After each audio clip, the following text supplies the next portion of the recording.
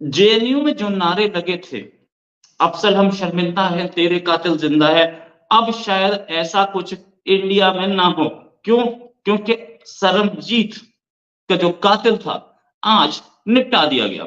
निपटा दिया गया मतलब ऐसे निपटाया गया कि उसको गोली मार दी गई। सरबजीत सिंह पर हमले में मुलविस, आमिर सरफराज उर्फ़ तांबा दम तोड़ गया है। अस्पताल जरा के मुताबिक आमिर सरफराज की मौत खून ज़्यादा बहने की वजह से हुई है।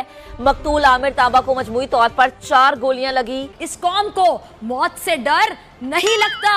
ये कौम मौत से नहीं डरती। और कोटलाखपत जेल से कुछ अरसा पहले ये आमिर तांबा रिहा होके वापस अपने घर आया था। और आज कुछ देर कबल इस्लामपुरा में चंद शूटर्स घुसे। मोटरसाइकिल पर ये शूटर्स मौजूद थे। और आमिर तांबा को घर के अंदर गोलियों के साथ छलनी करके ये चले गए। देखा आपने? सुना? कौन था ये? ये भी बताऊँगा। साथ में कुछ देशभक्त ये भी बोलेंगे। कि ये तो आईएसआई की प्लांटेड खबर है। ये तो आईएसआई चाहती थी कि उस समय इमरान खान के बड़े सारे आ, बड़े सारे वो हो रहे थे इमरान खान को जेल से बाहर निकलना था। इस वजह से ये खबर प्लांट की गई। खानदानी जरा ये बताते हैं कि आमिर को धमकियाँ मौसू हो रही थी। हमले का मुकदमा आमिर तांबा के भाई की मुदैयत में। थाना इस्लामपुरा में दर्ज कर लिया गया है। एफआईआर के मुताबिक एक हमला आवर ने हेलमेट और दूसरे ने मास्क पहन रखा था। ये पहली दफ़ा हुआ है। वरना हमेशा भारत में इन चीज़ों को डिनाइल में रखा जाता है इनकार किया जाता है। मगर इस बार भारत ने इस चीज़ का इतराफ किया कि हाँ हमारी रॉ ने आपके अदम इस्तेकाम को देखते हुए अंदर घुस के आपके इतने लोगों को मार डाला। वो देशभक्त नहीं है वो देशद्रोही है। और मैं ये खबर बड़ी कंफर्म खबर दे रहा हूँ कि सरबजीत का जो कातिल था उसका नाम था आ, उसका नाम था अब आमिर सरफराज। आमिर सरफराज को हमने निपटा दिया। हेलो जय हिंद दोस्तों S P news ninety one में आपका स्वागत है दोस्तों। दोस्तों, मैं आपको बता दूँ, सरबजीत का जो हत्यारा था, अमीर तांबा, सरफराज अली करके उसका नाम था, उसको जो है पूरी 21 गोलियाँ पीतल की उसके भीतर तार दी गई है। उसे पीतल डालकर लांबा कर दिया गया है। मैं आपको बता दूँ कि पाकिस्तान कभी ये नहीं बताएगा कि वो एक वांटेड था एक गैंगस्टर था। पाकिस्तान में कुछ भी होता है आए दिन अक्सर ऐसा होता रहता है कि पाकिस्तान के जिहादी जो है कोई ना कोई ठोकता रहता है। और पाकिस्तान की सबसे आ, कोई भी कुछ भी हो जाए पाकिस्तान के अंदर लेकिन उसकी आदत है कि वो सिर्फ़ और सिर्फ़ भारत पर ही इल्ज़ाम लगाता है। और यही इल्ज़ाम उसे आगे चलकर भारी भी पड़ते हैं, क्योंकि वो ऐसा सच नहीं होता।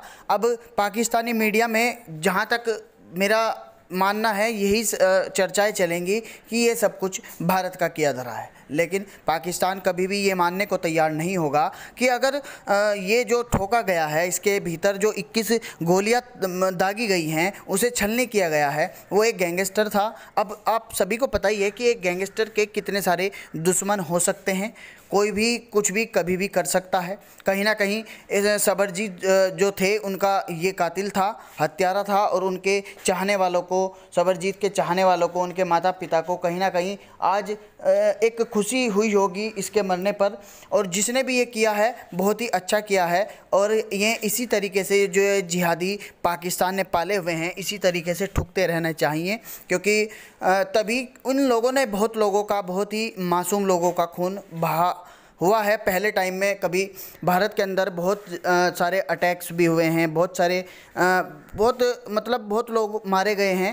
जो कि बिल्कुल निर्दोष थे, बिना किसी कारण के ही कहीं ना कहीं, कभी ना कभी पाकिस्तान पहले ब्लास्ट कर देता था। आज तो खुद ही पाकिस्तान की हालत इतनी खस्ता है कि उसी पर ही जो उसी के जो मिलने चिलने वाले, उसी के जो पड़ोसी मुल्क हैं, मैं खुद ही उसे चैन की सांस नहीं लेने दे रहे। टीटीपी, कभी टीटीपी, कभी अफ़गानिस्तान, ये सब उस पर जो है हमला करते रहते हैं। तो अब पाकिस्तानी मीडिया जो चर्चा करेगा, वो सिर्फ़ और सिर्फ़ भारत पर ही इल्ज़ाम लगाएगा। आज तक जितने भी उसके जिहादी मरे हैं, उसने आज तक सिर्फ़ और सिर्फ़ भारत पर ही इल्ज़ाम लगाया है। अब दोस्तों, आइए दोस्तों देखते हैं इस वीडियो में आगे क्या है। तो आइए दोस्तों, वीडियो को स्टार्ट करते हैं। हमने निपटा दिया मतलब हमारे दोस्तों ने, जो कि पाकिस्तान में बैठे हैं, उनको भी वो पसंद नहीं था। उनको पता था कि हमें पसंद नहीं है और वो लाहौर में घूम रहा था। उसको गोली मार दी गई और खत्म हो गया वो।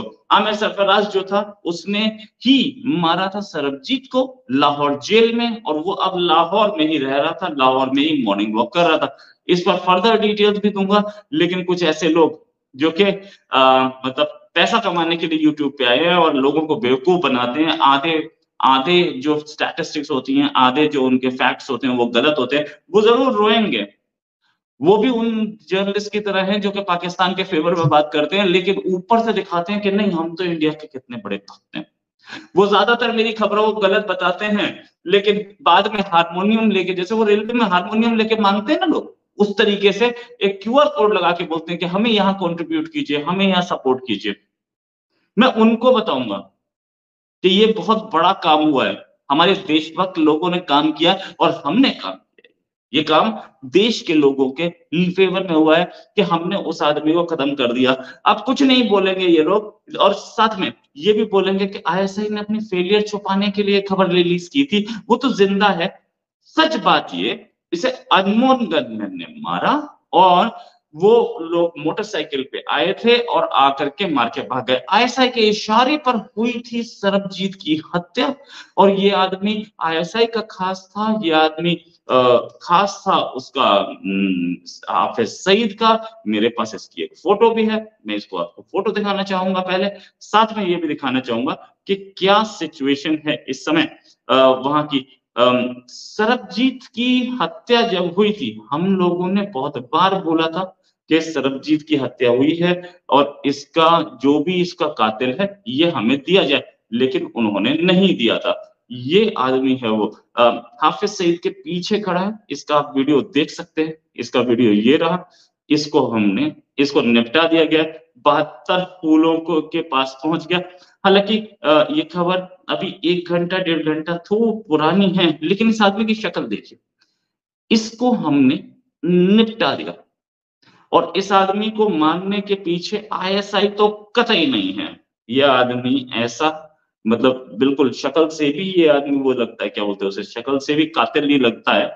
ये आदमी हाफिज सईद का खास था और हाफिज सईद इस इस हत्या के बाद हाफिज सईद को कहीं ले जाया गया है, जहाँ पे वो अब सेफ़ लोकेशन पर है और इस आदमी की कहानी ये भी है कि इसे अननोन गनमैन ने जो मारा है, उसमें कई ऐसे लोगों का हाथ है जो कि उस एरिया पर दबदबा चाहते हैं।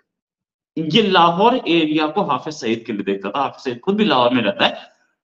ये ऐसा आदमी था जो लाहौर एरिया में दबदबा बनाना चाहता था, जैश मोहम्मद या दूसरे जो आतंकी संगठन है, वो भी लाहौर एरिया पे नज़र रखते थे, लाहौर को बीच में से तोड़ना चाहते हैं। तोड़ना चाहते हैं मतलब आधा एरिया तेरा, आधा मेरिया, इसमें कलेक्शन मैं करूँगा, इसमें कलेक्शन तू करेगा।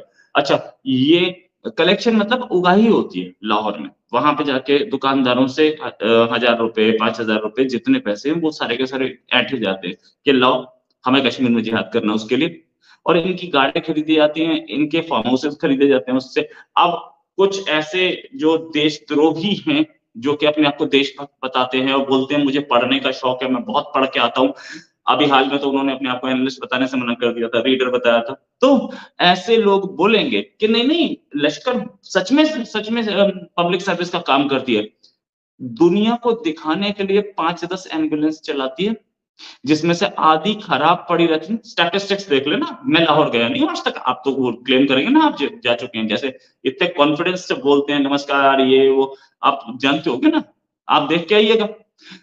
उनकी आधी खराब पड़ी होती है, उसमें काम नहीं होता, बाकी सारा टाइम उनका पैसे लेने का है पैसे उगाही का है। और ये जो आदमी मारा गया है, इसको मारने का काम किसने किया, अभी तक नहीं पता, पाकिस्तानी एजेंसीज बताएँ, लेकिन मैं आपको बता सकता हूँ कि ये काम जो किया गया है, वो लश्कर के दुश्मनों ने किया है। एक्चुअल में लश्कर पहले उगाही करती थी खैबर पख्तूनख्वा में भी अब वहाँ पर लश्कर नहीं कर पा रही है। वहाँ पर टीटीपी आ गई है। और अब पंजाब एरिया की लड़ाई चल रही है। लश्कर का एरिया सिमट रहा है। आईएसआई और आर्मी, ये दोनों मिल करके भी लश्कर का इन्फ्लुएंस खैबर में नहीं ले जा पा रहे। क्यों? क्योंकि उगाही जो होगी, उसमें एक एक तो उस उगाही का हिस्सा आईएसआई और पाकिस्तानी आर्मी को भी जाता है, जिससे वो पापा जॉन्स के आउटलेट्स खरीदते हैं। लेकिन वहाँ पे टीटीपी क्योंकि पख्तून फोर्स है, इसलिए टीटीपी का घर घर में नेटवर्क है।